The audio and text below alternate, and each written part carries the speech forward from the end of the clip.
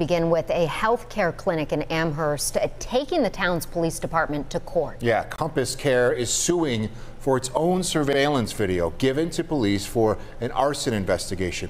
This tonight, all part of our follow up series, our commitment to you to staying on top of the stories that impact you and your community. That alleged arson happened earlier in the morning on June 7th. Compass Care on Eggert Road, which provides alternatives to abortions believes a pro abortion group was behind that blaze. The clinic says it handed the surveillance footage over to police that day and was unable to make a copy or even see that video beforehand. Well, Compass Care Pregnancy Services is now suing the Amherst Police Department for the return of that video evidence.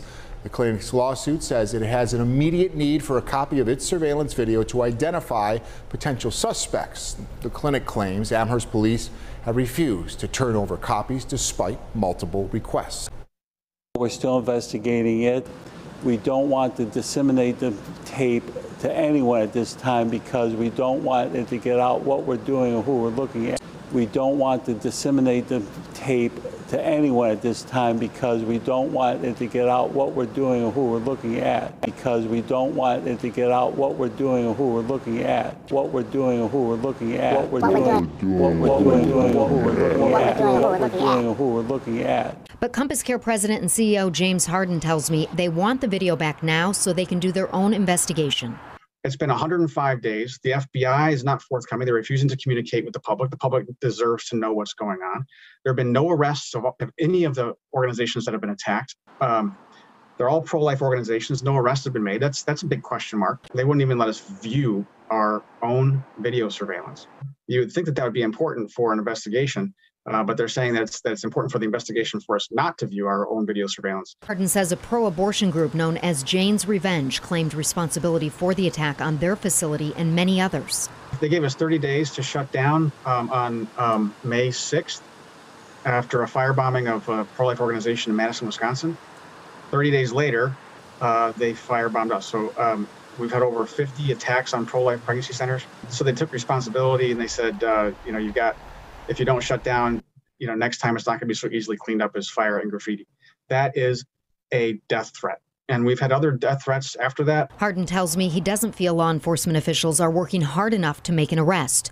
Sliwa says multiple agencies are involved and it takes time. At this juncture, we are both interested in determining who, if anybody, did it. And who, if anybody, did it. And who, if anybody, did it.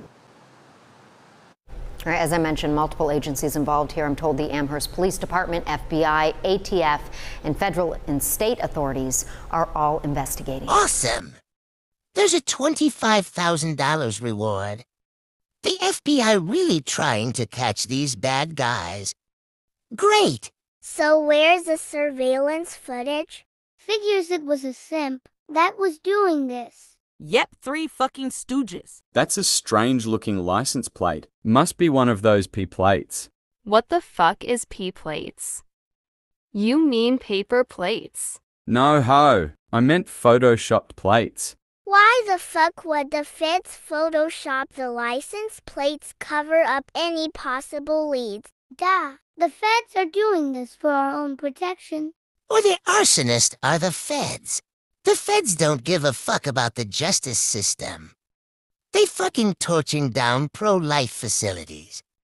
False flagging mass shootings, crisis acting insurrections, planting evidence, setting up innocent victims to get punished for the crimes they invented. If they don't give a fuck about a woman wanting to give her baby life. Why the fuck? Would they care about the greater good of America and its citizens' life? Any fucking ways I'll take my $100,000 reward money via Cash App. Just kidding. Bitcoin. Psych. Like I didn't know that was you too. Nope, fuck BTC. Monero baby.